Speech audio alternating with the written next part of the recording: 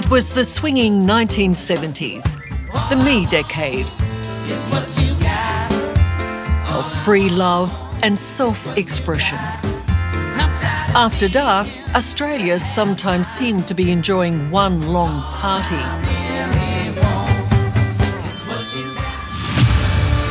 But in a small corner of the country, the party ended in tragedy. And a haunting mystery that 47 years later still has not been solved. Tonight, we'll reopen one of the country's most baffling cases the disappearance of Australia's first celebrity chef, Willie Koeppen, a star of radio and television who ran The Cuckoo, one of Victoria's most famous restaurants. Despite being so talented, he was flawed. He was volatile. There's no doubt there was a lot of people who did not like Willi. We'll examine what happened the night Willi vanished. So we've got four main players here that are potentially connected to it. The theories. Where's the body if it's a suicide? I mean, you can't dig a grave yourself and bury it. Do I believe he was murdered? Yes. The clues. To me, that jumps out as a motive. He becomes a very important witness, this fella. He would have been in the rickety chair if I was running the investigation. And his family's disturbing dilemma. Was the killer in plain sight? It's the worst question in the world to ask somebody do you think your mother killed your father? Good evening, I'm Liz Hayes, and this is Under Investigation.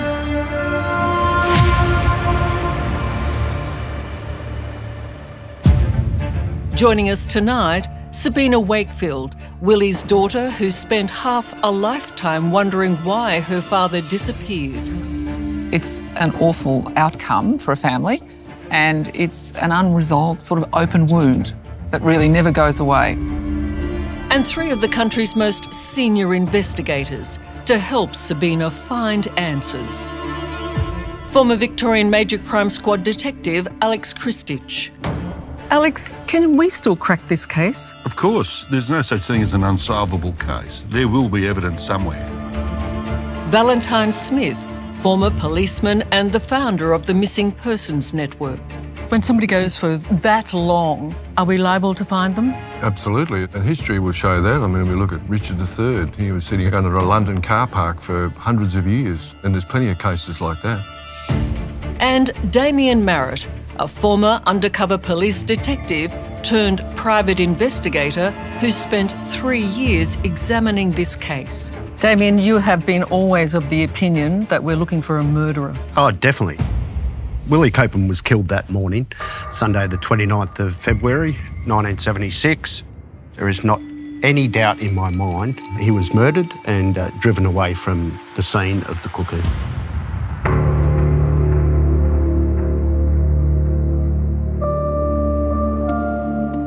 Willi Koeppen's story begins in pre war Berlin in 1929. At 14, he becomes an apprentice chef, working for the exclusive Adlon Hotel, one of the most famous in the German capital and all of Europe. As a teenage chef, he once made pancakes for the most notorious man of his time, Adolf Hitler. But in 1956, Willi moves to Australia and within a few short years becomes the country's first famous TV chef. He was a post war migrant, he was young, he was very talented, he was very creative, very charismatic, he was very good looking. Charming, he was absolutely charming.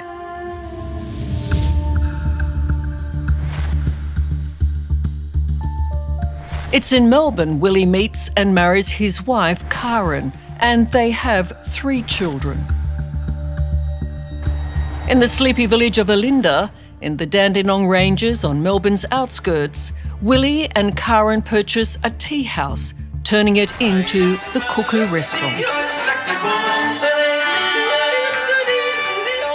What Willie brings to his restaurant and Australia is a brand new dining experience the smorgasbord.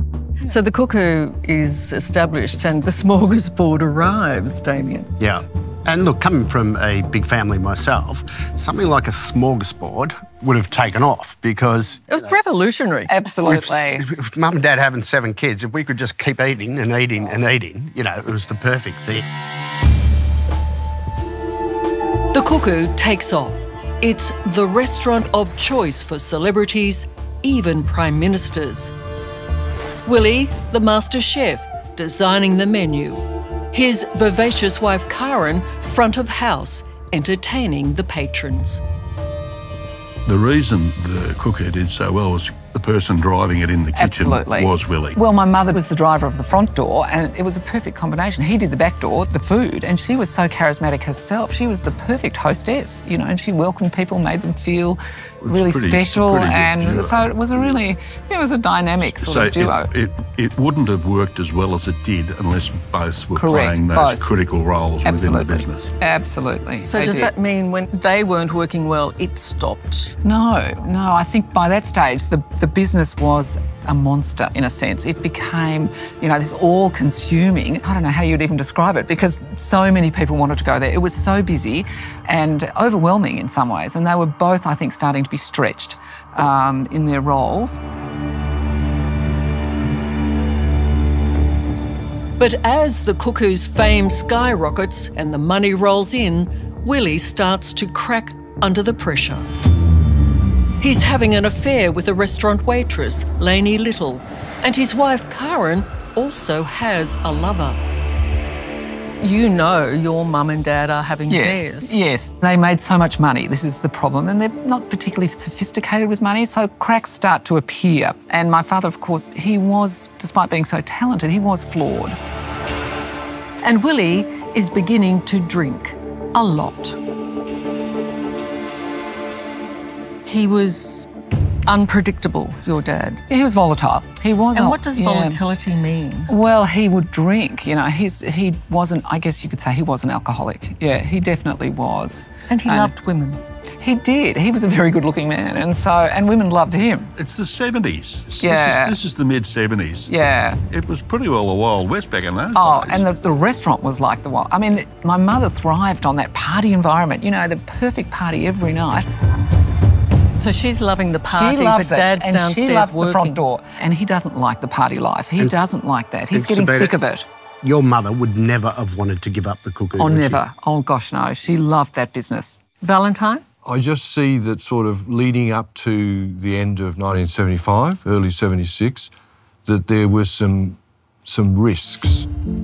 Already, missing persons investigator Valentine Smith sees a possible crime brewing.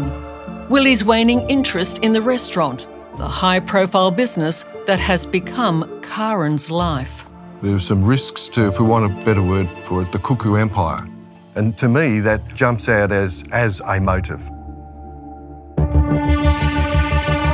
As this 1970s real life drama unfolds, some of the Cuckoo restaurant's regulars form a tight clique around Karen, including her lover, Melbourne barrister Tony Benici. Karen and her circle are decidedly anti Willie.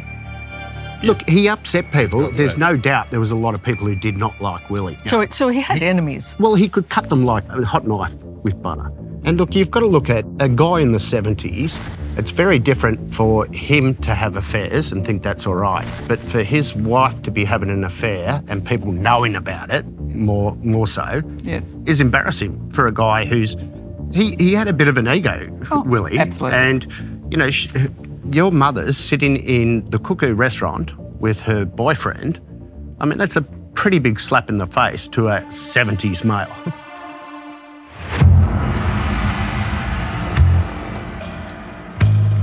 As well as her lover, Karen is often joined by friends Anne Robinson and her partner, the village doctor Bernard Butler. Butler is also Willie's doctor, whose evidence will become central to this story.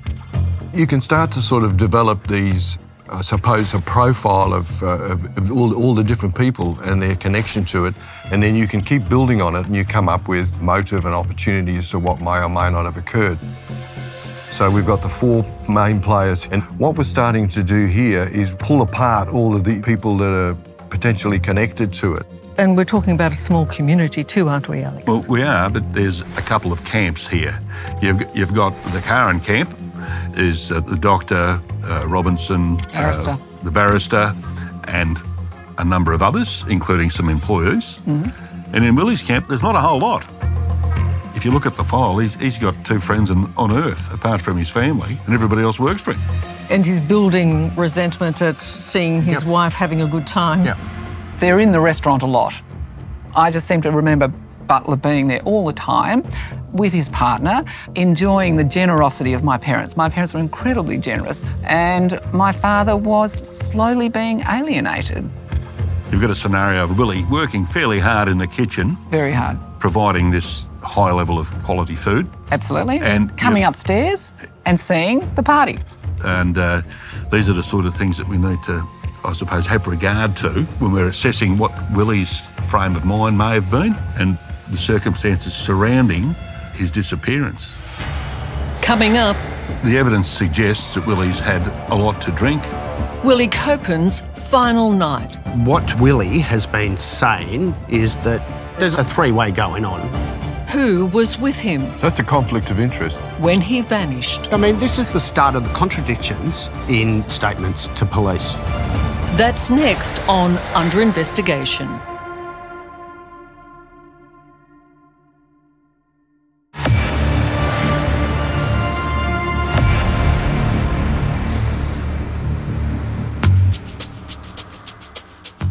It's the swinging 70s.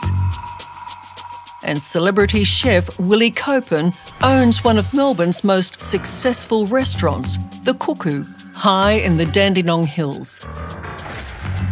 But Willie's life is unravelling.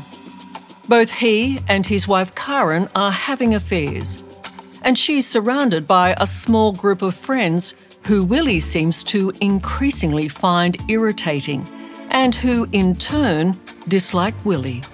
So we've got the four main players here. And what we're starting to do is pull apart all of the, the people that are potentially connected to it. There's Karen's lover, Melbourne barrister Tony Benici, the village doctor, Bernard Butler, who is also Willie's doctor, and Dr. Butler's partner, Anne Robinson. Did your father ever express his discontent about your mother's friends? Absolutely. And my father was outspoken. You know, he was very blunt and honest with people, and he had no hesitation in saying that. If he didn't like somebody or if he thought something, he would say it, often induced by alcohol. And I know that Butler and Benici and Robinson did not like my father. My father was a nuisance to them because he, in some ways, made them all feel a bit uncomfortable. And I remember Robinson saying, you know, he was an awful man. The material that I've looked at indicates that Willie is a womanising drunk. You've got a bloke here that's very high functioning. Yes. So it, it, there tends to be a bit of a, I suppose, a bit of a, a conflict there. We've got a person that's running a very successful business, making lots of money, and at the same time, we've got a bloke that they're saying, oh, he gets drunk and he's nasty to people. We should make the point that uh, Willie and Karen decide they will live separate lives, and your dad moves to the cottage at the bottom of the property. Is that right? That is right. Yep, he did. According to all his friends, he was all over the place during that time. Yeah, he a man in didn't like the arrangement. Former Victorian detective Damien Marrett has been investigating the case for the past three years and interviewed Willie's wife Karen just before her death last year. Willie, in mid 1975, was openly saying he wanted to sell the cuckoo and move to a remote dairy farm. Now, you can imagine Karen living on a remote dairy farm. It's just not going to happen in her eyes. But what is his psychology? Because he must know your mother doesn't want to do that. My mother always maintained that he would have sold the restaurant many times over. It's only because of me that it's successful, because she was the consistent one and she was stable. I think it was him crying out for help, which I realise now, looking back, this was a person in distress and he was crying out for help and no one was listening. It's Saturday, the 28th of February, 1976. the last night Willie will ever be seen alive. The Cuckoo restaurant is crowded with customers. Staff are working away, waiting for their boss. What happens over the next few hours is critical to this investigation. Willie Koeppen, clearly intoxicated, arrives at about 8 pm. Witnesses say he's rude, abusive, and spoiling for a fight. The evidence suggests that Willie's had a lot to drink and that he's been unpleasant to a number of people, threatened to sack a couple of people. One of those Willie threatens to sack is long-time employee June Vink, a threat that will assume critical importance later in our investigation. Willie is also casting slurs on his wife and her close friends, Dr. Butler and his partner, Anne Robinson. What Willie has been saying at the Cuckoo is that Anne Robinson is in a relationship with Karen and Butler. As a friend, oh, he's he's implying. You know, th- a three-way going on between those uh, three people. That gets back to Bernie Butler, and Bernie's furious. He even admits he was angry. Dr. Butler heads to the cuckoo, intent on confronting Willie over his slur about the alleged threesome. He later tells police that on the way, he picks up a drug called Mellaril, an antipsychotic medication used to treat schizophrenia. Willie, it's believed, has never been diagnosed with the condition. Something Dr. Butler would have known, given Willie, the man he was going to confront, was also his patient. So that's a conflict of interest. So it could be seen as a conflict of interest between whether or not he's going there as a someone going to calm someone else down just as a as an associate or a friend like a, or whatever. Or goes going it's there like a, a sledgehammer in the forehead. I wish we could get in the mind of Dr. Butler and what he was going to do with that drug. But we, we, we, would surmise that it's not malintent necessarily, that he's gone and to pick up a drug that he presumed might help calm Willie down. But when it gets to the restaurant, he says that Willie greets him like an old friend. Bernie Butler's the only person who says he was greeted like an old friend. Oddly, according to Damien Marrett, far from confronting Willie, Dr. Butler settles in for a friendly drink. But I mean, this is the start of the contradictions in Bernie Butler's statements to police. According to witnesses, Butler and Willie move outside to a small balcony attached to the restaurant. Butler later tells police he doesn't give Willie the drugs he's brought with him. As the night drags on, staff close up and leave. Dr. Butler and Willie stay and continue drinking.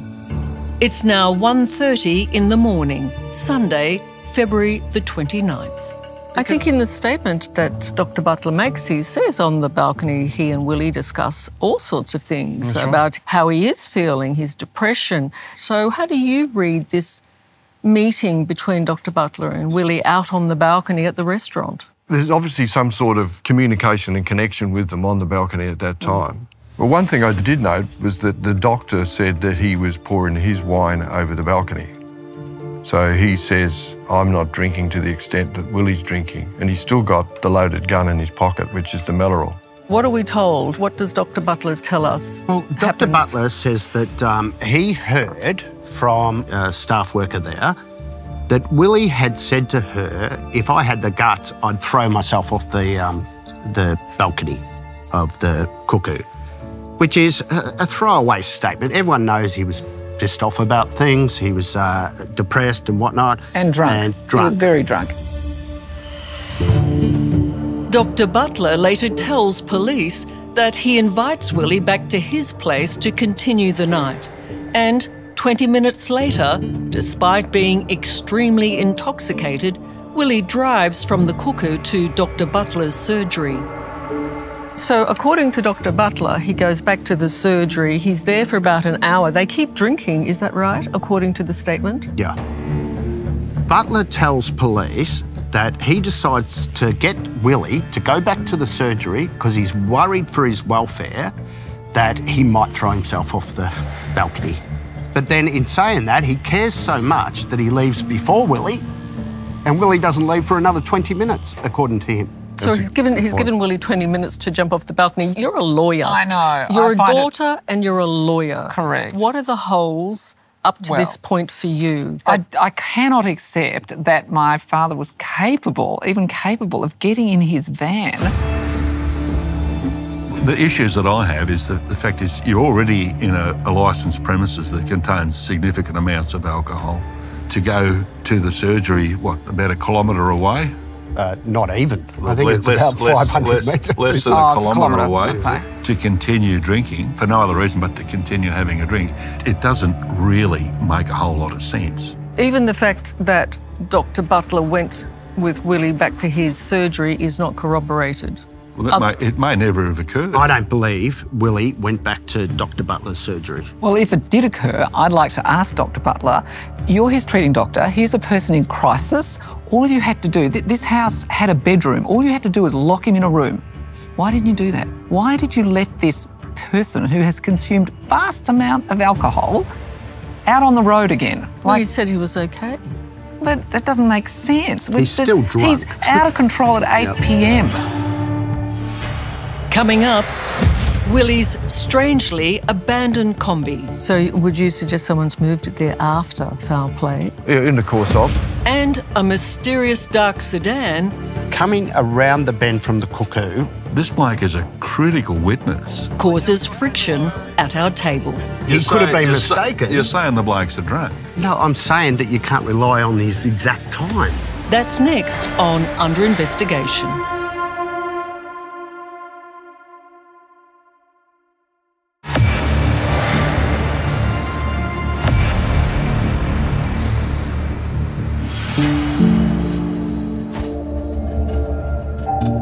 It's the early hours of Sunday, February the 29th, 1976. We're investigating the mysterious disappearance of celebrity chef Willie Koeppen. He's last seen with the village doctor Bernard Butler, who comes to Willie's restaurant, The Cuckoo, to confront him over a slur he'd made earlier in the night.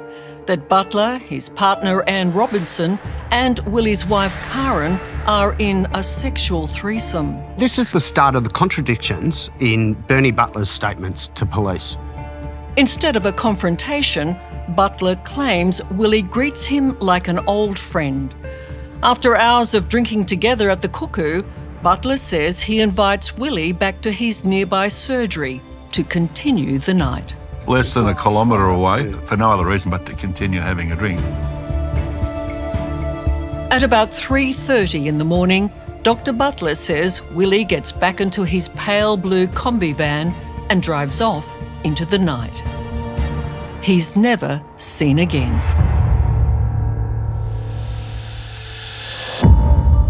Willie's wife Karen tells her family that Dr. Butler claims Willie received a phone call at the surgery just before leaving. And is the inference that after that phone call, Willie leaves because of it? Yeah.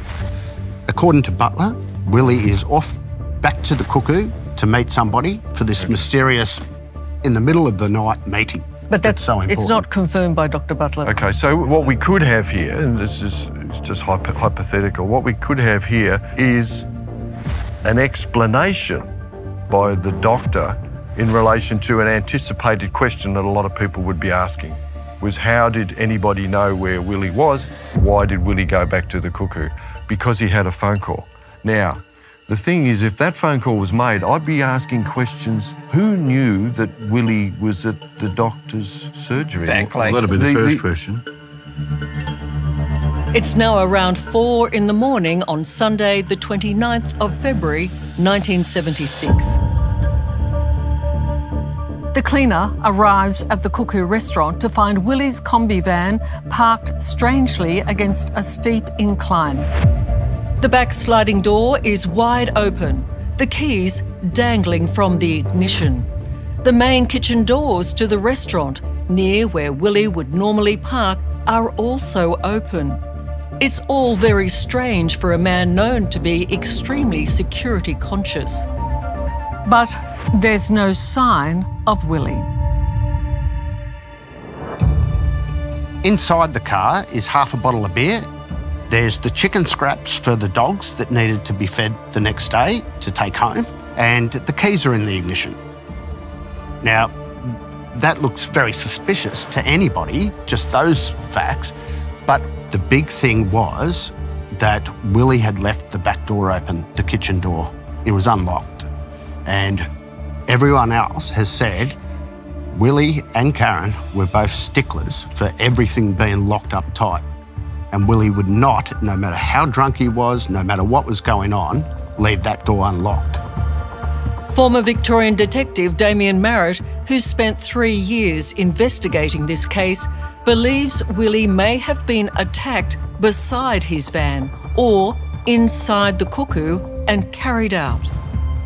Now, if Willie was loading up things from the kitchen out to his car, he would have been using that door, which would have only been four or five metres. So it's the perfect place for somebody to either jump Willie whilst he's loading up the van, not knowing that they had to lock that door, or if something's happened inside the cuckoo, he's been taken out that back door where his combi van is. Valentine, you've been there. You went and had a look. If anyone was servicing or doing something in that car, moving things in and out at that position, they would have had to have been as steady on their feet as a mountain goat. Otherwise, they would have ended up in the creek. Because of the precarious position of Willie's combi van, missing persons expert Valentine Smith has an alternative scenario. Examining the scene, he believes it's possible Willie's van was moved here by Willie's attacker and parked out of sight to avoid attracting attention.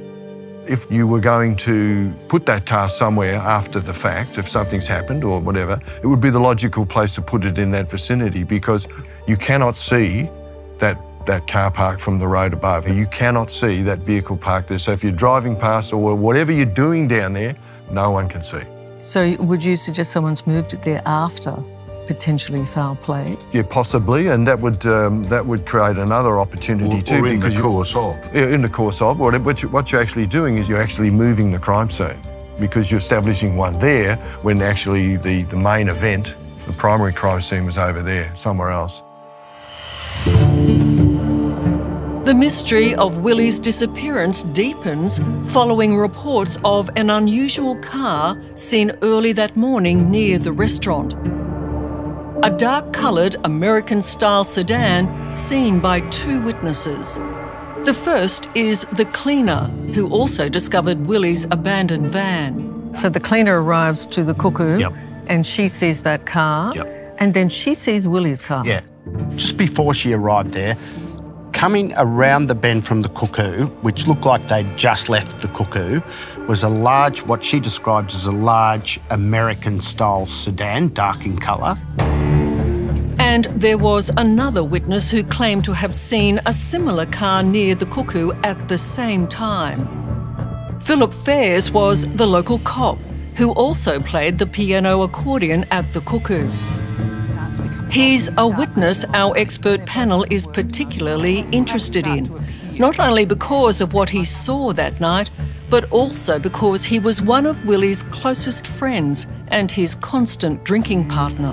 This bloke is a critical witness in how Willie's thinking, how he's acting. And in the days leading up to his And, disappearance. and what it, the days, the weeks, the months, anything unusual, any changes in his behaviour.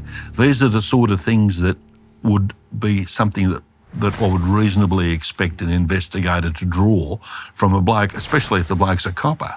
And, and he did go Yeah. for a drive and claims he did see a car. Well, you know, he, he, he becomes a very important witness, this fella. He would have been in the rickety chair if I was running the investigation. Philip Fairs often stayed with Willie and says he was on his way to Willie's cottage in the early hours when he saw the car. At 3.30, Philip Fairs says he saw a big black car there. Philip was very drunk. Yeah, yeah. He was always very okay, drunk. fair enough, yeah. Okay. Well, he, he wasn't he wasn't drunk enough not to remember um, what he saw. He drove Yeah. from Ferny Creek. Oh, He wasn't He's a drunk. copper. I'm not defending the bloke for one minute, but I'm hmm. saying, you know, Is he totally you know, we don't, we, don't, we don't write people off just because they have a drink. And he's not anticipating. he's not. He's, No, but you, you're not writing him off because he had a drink. But you can But you can say- sort of say he could have been you're sa- mistaken. You're saying the bloke's a drunk and he doesn't know what he's talking about. no, I'm saying that you can't rely on his exact time. Coming up, Is there anyone in the town who had a car like that? Yes. Huh?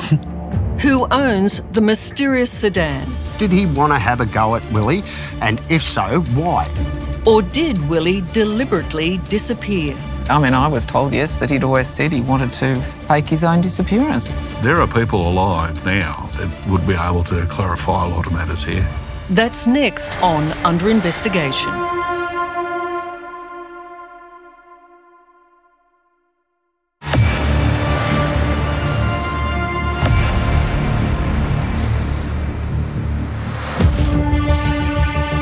Tonight, we're investigating the strange case of Willi Koeppen, the celebrity TV chef of the 1960s and 70s who disappeared without a trace. He was unpredictable, your dad. He was volatile. There's no doubt there was a lot of people who did not like Willi. Our experts are focusing on a mysterious dark sedan spotted near the Cuckoo restaurant where Willi's Kombi is later found. There were two cars fitting that description in the area. I was asked a question who had a car like that that was connected, right? Now, Simon Vink did. Hmm. Okay, what could cause Simon Vink to be around the Cuckoo that night? Did he want to have a go at Willi? And if so, why?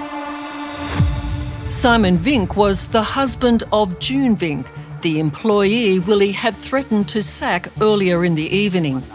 And according to former Victorian detective Damien Marrett, June Vink was also inappropriately propositioned by Willi that night. June was in the thick of things with Willi's abuse that night. Well, she got sacked by Willi and then reinstated later. Sacked, and you can have your job back if you do me some sexual favours and all that sort of crap. So, and it's all very well we say, oh, that's just Willi, it's water off a you know duck's back, but I mean these things build up and build up to the point where somebody just says, I've had a freak enough. Well, it's, a, it's an offensive comment. and Yeah, we'll but not it wasn't deny that, that. unusual back in those days. Are you People- giving it context again? Yeah, but Yeah, yes. yeah. Look, back in the seventies, yeah, you, You in can say- 2022, we'd get all hyperventilated But- about that. But back But- in those but- days, but this I think, is a husband. yeah. Both June and Simon Vink have since passed away. But immediately after Willi vanished, most in this small town in the Dandenong Hills seemed to believe Willi had staged his own disappearance, that he'd flown out of the state, out of the country, out of sight.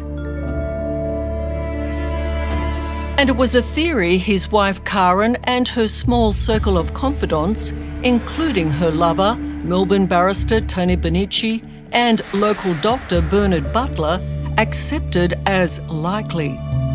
Valentine, with your expertise of missing persons, is there anything that you can see about Willi that would support the idea that he has decided to deliberately disappear? It's there, it must be considered because it's a possibility or a likelihood.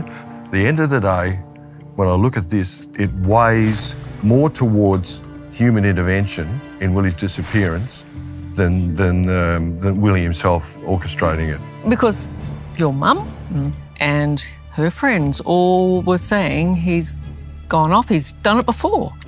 And that, like, disappeared, and but he comes back, and so they're all of the opinion that this is possible. True. Yeah, I mean, I was told, yes, that he'd always said he wanted to uh, fake his own disappearance. I never heard him say that. I never heard my father say that ever. Perhaps supporting the notion that Willi was unstable and capable of just about anything was a curious letter written by Dr. Butler the day before Willi vanished. It was to the insurance company National Mutual who sought a medical reference for Willi. Dr. Butler's assessment of his patient was startling. He has expressed suicidal ideas, has threatened his wife with a rifle, which on one occasion he fired in the bedroom, and has attacks of paranoid delusions of grandeur during which he states he can see through 18 feet of concrete. Now, there's this line here He threatened his wife with a rifle, which on one occasion he fired in the bedroom. Now that seems to conflict with the way you've sort Absolutely. of profiled and My father described did your not father. have, I don't believe he had a rifle in 1975. But, but the document doesn't sound like it's written by by a scientist, by a, a person with a, a medical degree. You know, it, it doesn't look right. Exactly. There's a broad spectrum of things that haven't been answered. And do you think the answer lies within that community? Oh, look, there, there's, there, there are people alive now, I've got no doubt, that would be able to clarify a lot of matters here Still. and put this and put this to rest forever. Coming up, Sabina, I have to ask you about your mother. more than 40 years on, I often put it to her, I said, You hated him. You know, you were glad to see him go. How close to home was the prime suspect? It's the worst question in the world to ask somebody do you think your mother killed your father? That's next on Under Investigation.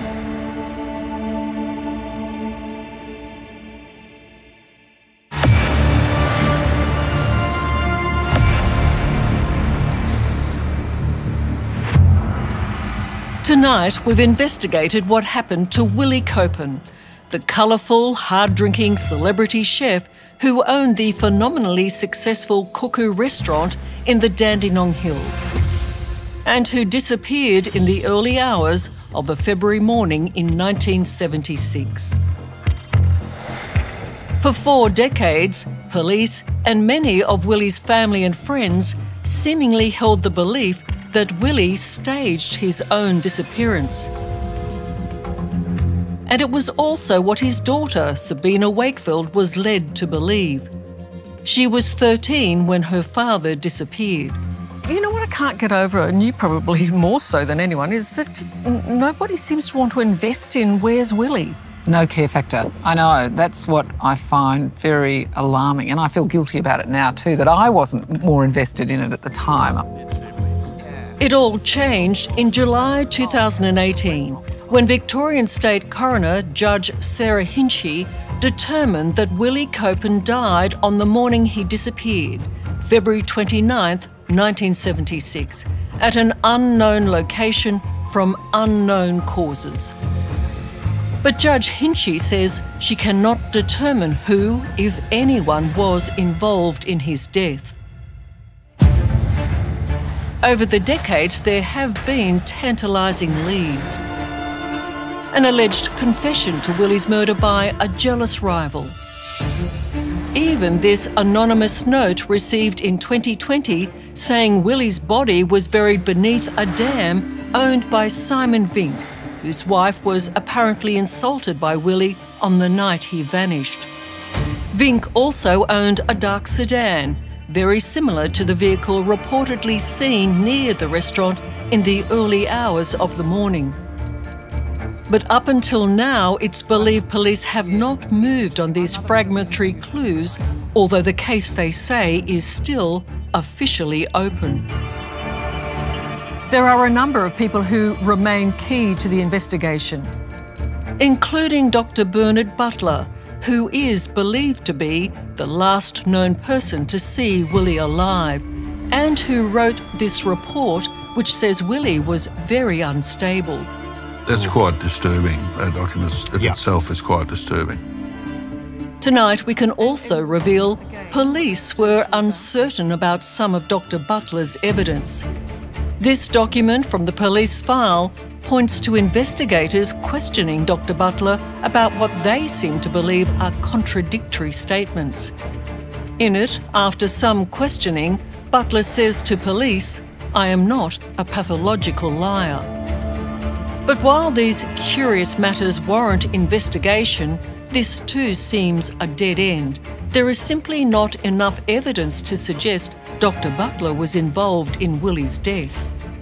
Perhaps any chance of a resolution to this mystery was lost at the time, with a police investigation that can only be described as underwhelming.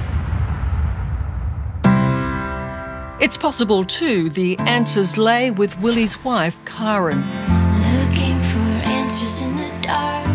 Right until the end, she maintained ownership of the Cuckoo and had bitterly opposed any moves by Willi to sell it. to Sabina, I can't imagine how you're dealing with all of this. But ultimately, I have to ask you about your mother.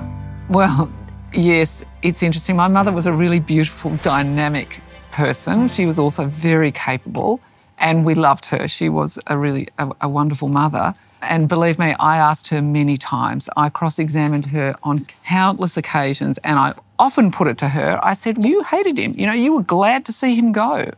And she said, "I didn't do it."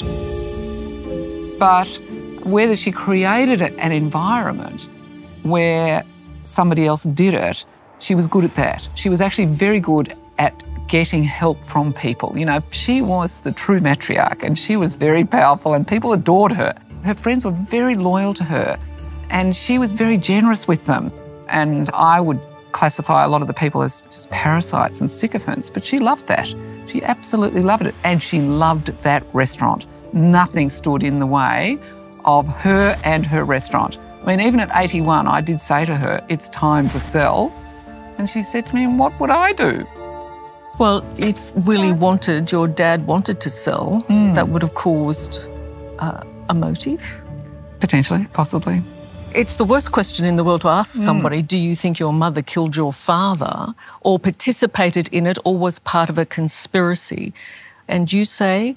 I say, I don't think she killed him. She did not kill my father, but in, did she participate? Was she possibly involved in creating an environment where he was killed? And I would have to say, I don't know. That is a grey area. Karen died last year at the age of 87. Her family and our investigators at the table tonight are left wondering what did Karen know and what secrets did she take to the grave? Um, Alex, when you're looking at suspects, I guess you look at who's going to benefit. Yes. And does Karen stand out as a suspect? Well, with, there's no doubt that she's definitely on, on the list of persons of interest, as they refer to them these days. I know it's unpleasant for a lot of people to think of that, but that, the truth of the matter is that she does stand to benefit from it, and so do those supporting her in whatever it is that she's doing. Um, there's, there's, there's a motive there. There's the ability there. There's a considerable amount of money to pay people to do things. She's definitely a suspect.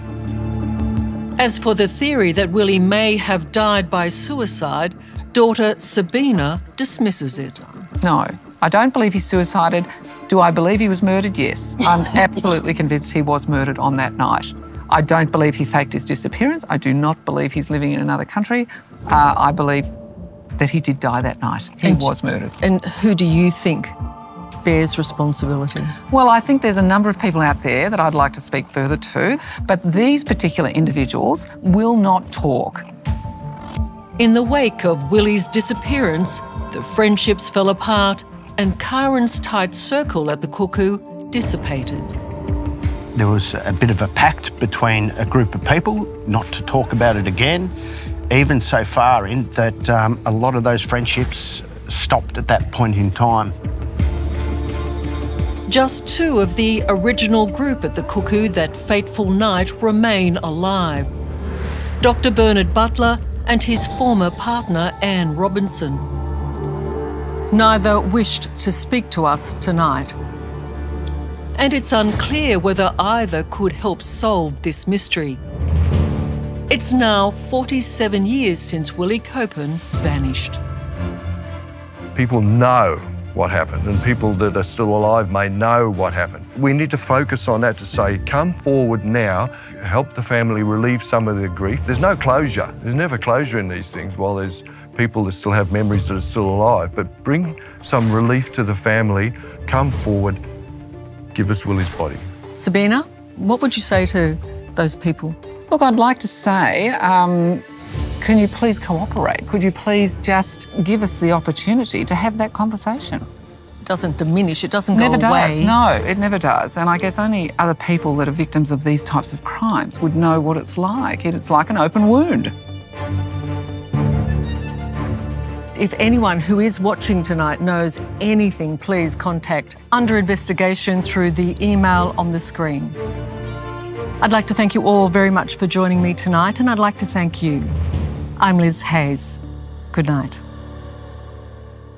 If anything in this program has raised concerns for you or someone you know, please contact Lifeline on 13 11 14 or lifeline.org.au.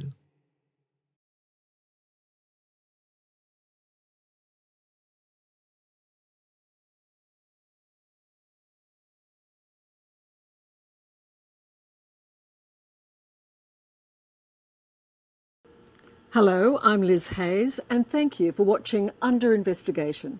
Subscribe to our channel now for exclusive clips, and don't miss out on full episodes of Under Investigation on 9Now and the 9Now app.